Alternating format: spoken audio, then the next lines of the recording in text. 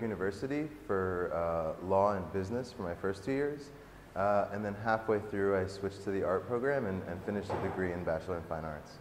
I don't know that I have a definition for street art necessarily. Um, as far as the illegal side goes, I, when I first started out, I, I wasn't really inclined to use spray paint because I wasn't really interested in having to sneak around. Um, I wasn't really interested in having to destroy property or, or cause any kind of negative energy to things, and so I started using tape, which is a temporary medium.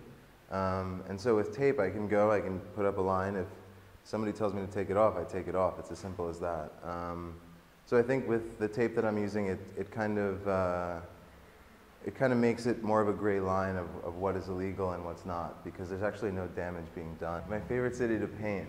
I don't know that I have a favorite. I think, I mean, I, I, I live in Brooklyn, so I, I definitely have an affinity to that. Um, but I, I, think any, anywhere I go, it's, it's always kind of a new and exciting experience, and I, I kind of like to take on anywhere I go. I the work that I do outside relies very heavily on the people that are walking on the streets. Um, so in a way, the only way the work is kind of complete is when the public interacts with it.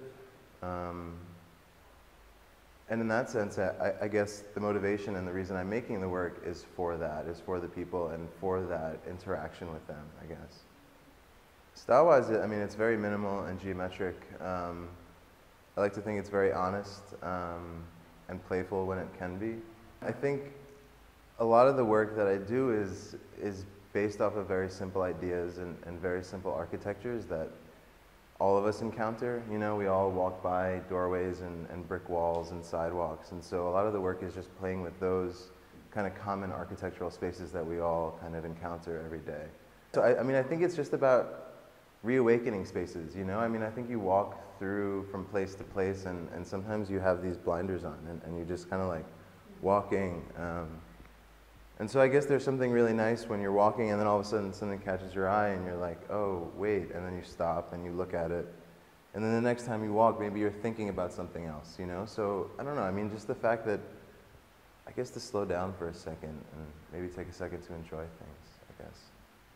I don't really see any contradiction in it. I, I mean, I never have any tension about doing work outside and inside. To me, it's, it's always kind of about this reaction to space, this, um, these taking these visual cues from wherever I am and playing with those. Um, so for, for me, I don't, I don't find there to be much of a contradiction in, in the outside and inside. I know with some people and some artists, maybe they have different mediums that rely heavily on, on the street, but for me, um, I don't know, I mean, like you can see in the gallery, it's, there's still the element of playing with space and playing with the idea of color and shape.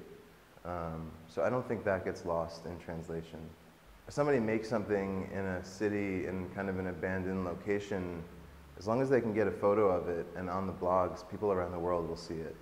Um, and I think that that spreading of, of these works that are, are kind of all around the world in these remote locations, it, I don't know, it brings, it brings all the artists together and it brings the viewing of the art um, to, to an easier place. Um, so yeah, I mean, I think it's, I think it's fundamental to the development of it for sure.